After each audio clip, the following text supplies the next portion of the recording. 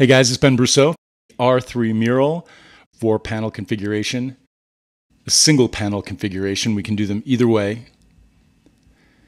At night, we'll be using a blacklight wall wash as well as video projectors projected onto the actual artwork to give it depth and movement. This opens as a blank canvas and it closes as our next R3 mural, the Reduce, Reuse, Recycle mural.